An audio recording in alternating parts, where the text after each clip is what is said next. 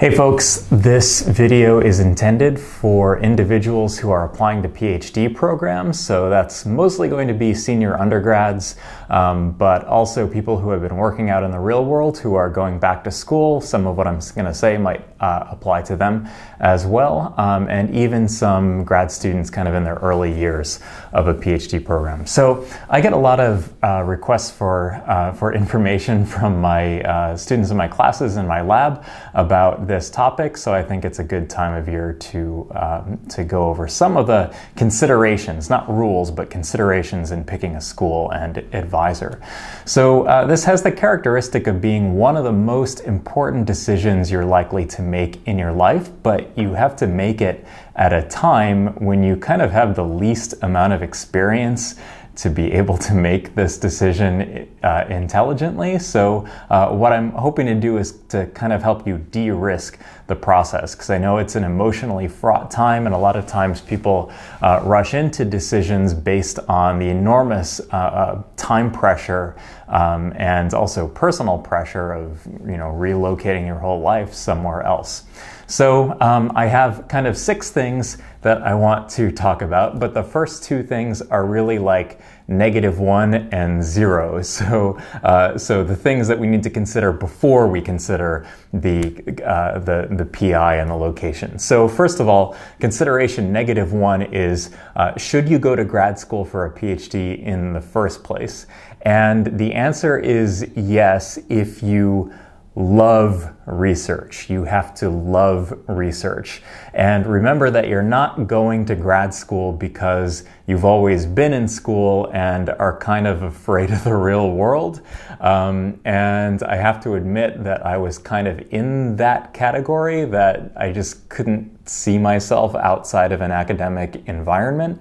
Um, I had very few jobs outside of labs and uh, and universities. Like even when I did uh, like janitorial work, it was for a summer at my university. So I just loved the university environment. Remember that uh, that you're applying to a PhD knowing that it's more work than a full-time job, um, and this is uh, a little bit of a touchy subject because PIs aren't really allowed to tell you that you that you have to work more work more than a full-time job.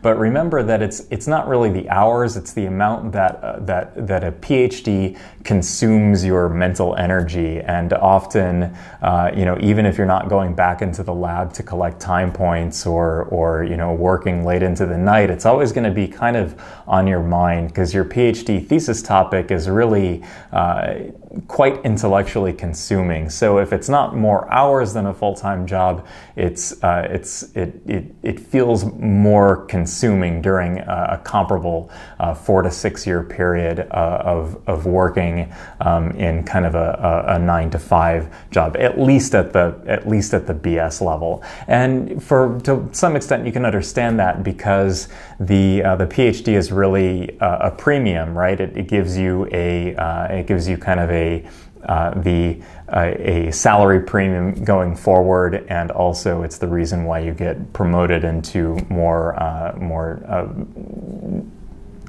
managerial positions within R and D and directorships uh, than you would with just a BS uh, or MS. Um, know that if you're applying to become a professor and that's the only thing you want to do, keep in mind, make sure you do that, you make that decision with the numbers in mind that only about 5% of PhDs are actually employed as tenure track faculty members.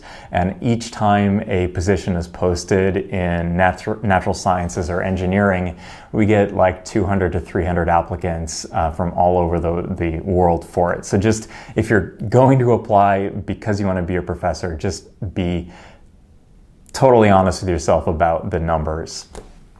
So consideration zero is the research topic itself. This is not necessarily applying and necessarily making the decision about the PI or the institution, but the research topic. So the, the right topic, the bottom line is that the right topic for you is probably a balance of what you're most excited about, uh, plus the uh, something to do with the PI and something to do with the group culture.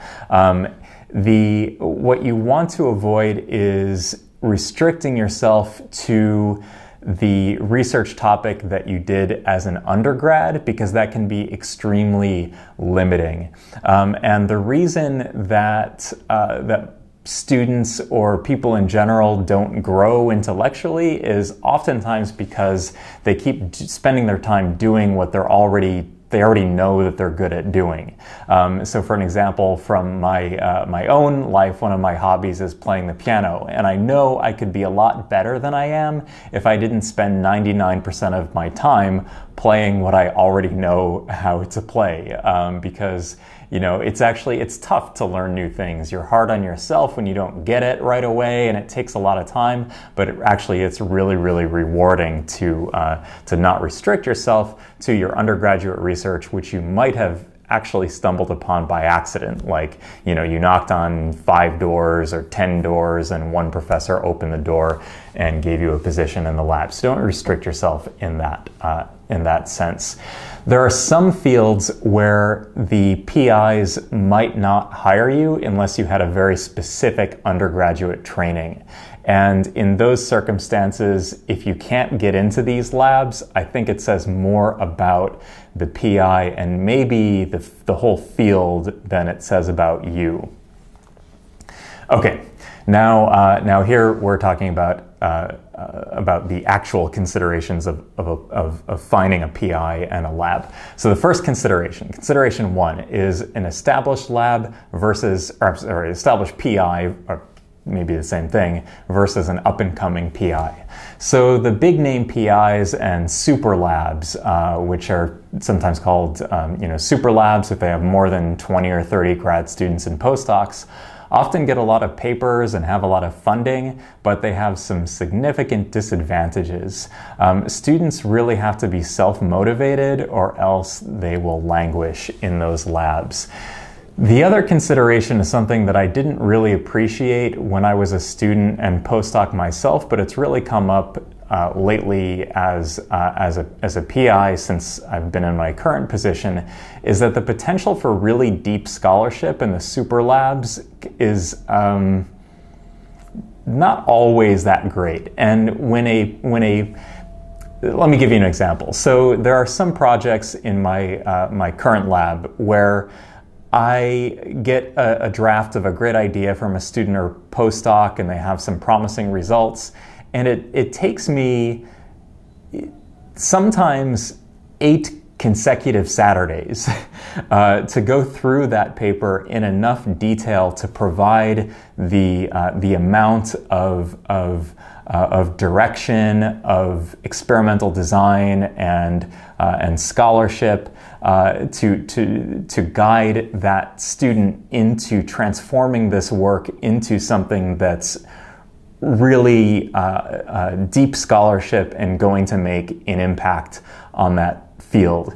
And when a paper of that uh, of that depth comes out of a super lab, it is definitely not because the PI uh, of that lab spent all this extra time on the paper. It's because there was a really uh, excellent senior graduate student or postdoc who did that work because I just can't envision the PIs of these gigantic labs taking that amount of time to mentor students and postdocs on uh, on the to the depth of scholarship necessary to get one of these, uh, you know, truly, uh, truly scholarly papers out, um, because it, it it just it just takes way too much time, and these people are really, really busy if they're pulling in two to two to five million dollars of extramural funding uh, per year. Now, that's not all of them. Some of these people somehow manage to have 40 hours in a, in a day,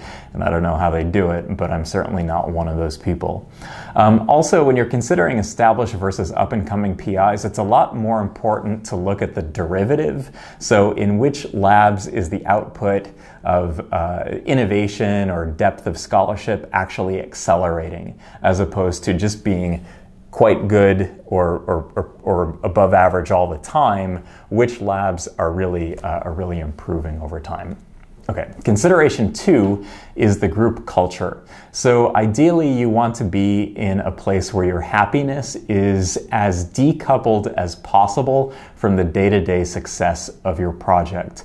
So there will be months or maybe years at a time where literally nothing good happens, at least in your mind. Although the failures are valuable, they can actually uh, really um, uh, damage your self esteem and make you depressed, which happens to pretty much every graduate student at some point uh, in their studies. Uh, an example from my own PhD is that I started in 2005 and I didn't get my first paper until 2008. Um, there was a period of about two years where basically nothing was going right. Um, and, uh, you know, there are alternate universes where I, I would have quit the program and opened a restaurant or brew pub or something, which is what I kind of really wanted to do. Um, but I, I uh, you know, that just, that type of decision just wasn't in the cards and it probably wouldn't have been that smart for me to do it anyway. Um, but after kind of that first uh, that first paper, it's sort of like how I imagine if you go to a casino and you win your first hand at poker, and then the rest of the, the evening, you know, you feel better about it, and you can you can be more uh, more relaxed um, going forward. Um, when you do your graduate uh, visitations, make sure to talk to as many graduate students as possible and ask yourself if they are uh, excited about what they're doing, if they're physically healthy, if they're mentally healthy, if they are happy with the amount of progress that they've been making, if it's a collaborative environment, if the group not only tolerates but values diversity of uh, sex and gender and race, religion, and perhaps um, sometimes overlooked if the group values um, personality, diversity and personality types, because we are all different. I think, especially, uh, especially uh, researchers, uh, scientists, engineers, um, social scientists, uh, uh, humanities scholars are a very diverse uh, group, and you want to make sure that the research team is actually uh, is actually uh, uh, valuing of, of diversity. Remember that isolation is one of the surest routes to, to, depression, and one of the surest bulwarks against depression is to be united by a common mission. And that could be collaborative projects um, and a group dynamic that values working together, working toward common, uh, common goals. Consideration three is the PI herself or himself. Um, uh, and we're going to assume that most PIs are competent researchers, topic experts, and that they're doing something new and interesting. If they don't check all three of these boxes, uh, then look elsewhere. Um, uh, choose the PI that will allow you to flourish. That's kind of the bottom line. Uh, a lot of what I said about group culture also applies to the PI because the PI influences the culture by their hiring decision. Not necessarily the PI's uh, personality themselves, that's not necessarily what determines the group culture, but they determine the group culture by the hiring decisions they make. In fact, the PI's personality is often quite different from kind of the, the uh, median uh, or, or, or, uh, or mean personality type in the, uh, in the research group.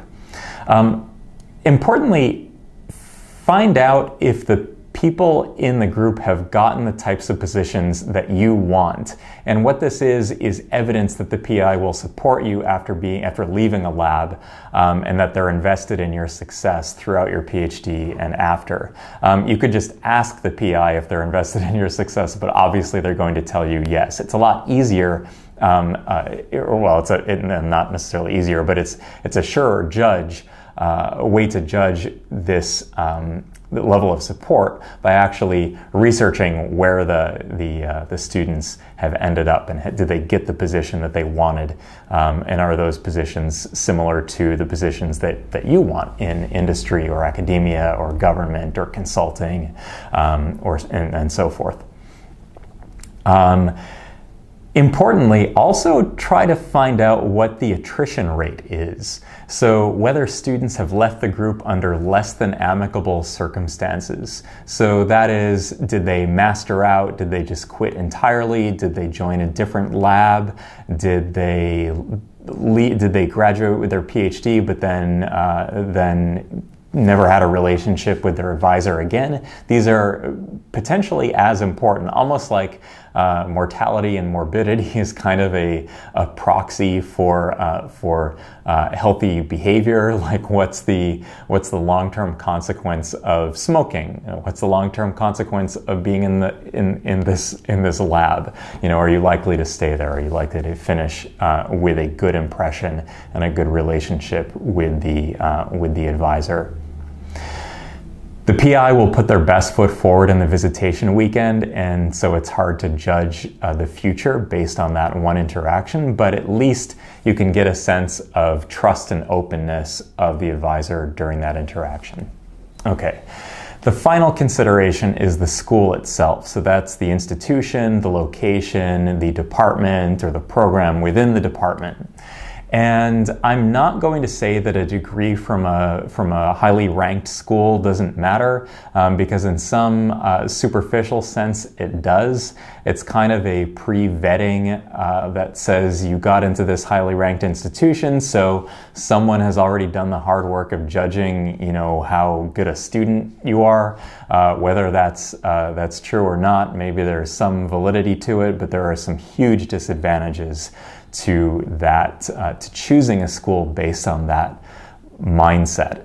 Um, you know, for for example, there are some uh, there are some high technology companies that place your institution in tiers where the, uh, the probability of being hired and the salary range once you get hired is actually dependent on the tier at which the school is placed.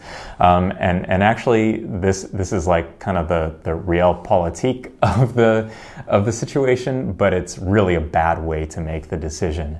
Um, so the PIs at the top places um, are not usually regarded as the, as the most attentive mentors. So you get a lot of resources, you get the you get the premium of the fancy school on your diploma, but maybe your experience in that school uh, or in that that lab might not be uh, as good as it could be somewhere where you had a more attentive mentor. Um, in fact, that's very likely to be the case. Um, Note that the PI is far more important than the program or department or even institution um, in terms of your day to day level of happiness, which is going to influence your productivity which is going to influence the job that you eventually get. So the department and the program have an influence on your life kind of in the first year when you're taking classes and doing, you know, going to, uh, to seminars and so forth. But uh, it's really the lab that's going to influence your quality of life and your enthusiasm for the, for the, for your program for the rest of your, uh, of your PhD. A final note is on uh, location. So, is it a cold place? Is it a hot place? Is it a long distance from home? Is it an international uh, location? Um, do you speak the language at the place uh, where, in the, do you speak the official language of the country that you're going to do your studies in? Uh, this is a really uh, personal decision. I have uh, almost nothing useful to say about it because of how personal it is. Um, what I would say, though, is that most people committed enough to research um, will find that they often don't have a lot of uh, choices once you know they get you know because what are the odds that the program you want is in exactly the location that that you want? Um, or when you finally get a job what are the odds that it's going to be exactly where you want it to be? You know there are a lot of uh, uh, considerations uh, on top of just the uh, just the program, personality fit, and so forth, um, family, age, uh, the condition of your family, um, young children, and so forth. So. Um, I hope I've said something useful. Uh, feel free to reach out and let me know uh, if you'd like me to expand on any of these points. All right, take care.